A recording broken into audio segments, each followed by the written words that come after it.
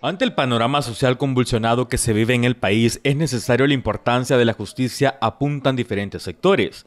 Tal es el caso de los miembros de la plataforma Amplia Nacional Liberadora Panal, quienes continúan pidiendo la instalación de la CICID. Así lo ha expresado la empresaria Juliet Handal. Haya justicia, se elimine la impunidad y que se fortalezca el sistema judicial para que no tengamos que tener gente de afuera viniéndonos a decir cómo se debe administrar la justicia y cómo se debe de respetar las leyes y la constitución.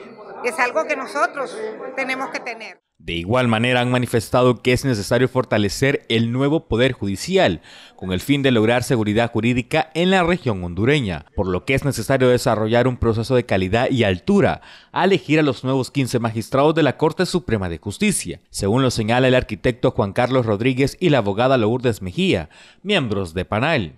La injusticia que hemos tenido y que queremos que se mejore la impartición de justicia en Honduras es uno muy importante porque la justicia nos ha demostrado en los años anteriores que no existe y que ha sido muy selectiva a favor de aquellos grupos de poder y eh, que han estado inmiscuidos en situaciones incorrectas en nuestro país. Con el dolor que cuesta eh, eh, reconocer que no tenemos la institución reforzada para que nosotros podamos perseguir esos delitos de corrupción, porque la corrupción está instalada en este país.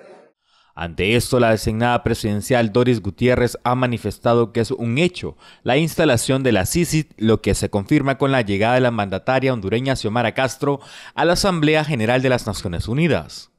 Es una promesa de campaña de la presidenta y como tal, ella está muy interesada en que se cumpla. Esperamos que esto se concrete ahora en la reunión que está ella en Naciones Unidas. Sabemos que los que vienen de la CICIT no pueden ejercer acción penal, porque había que reformar la constitución, pero sí pueden convertirse en elementos auxiliares importantes de investigación para combatir la corrupción, la impunidad y que definitivamente los recursos se utilicen en beneficio de las grandes mayorías del pueblo. Castro Sarmiento aprovechará su visita en la participación de la Asamblea de las Naciones Unidas número 77 para reunirse y dialogar con el secretario general Antonio Guterres, con quien abordará el convenio para la instalación de la CICIT en la región. Desde Suyapa Medios y Notifides le invitamos a fomentar una cultura de paz. Con imágenes de Aníbal Recarte les informó Josué Varela.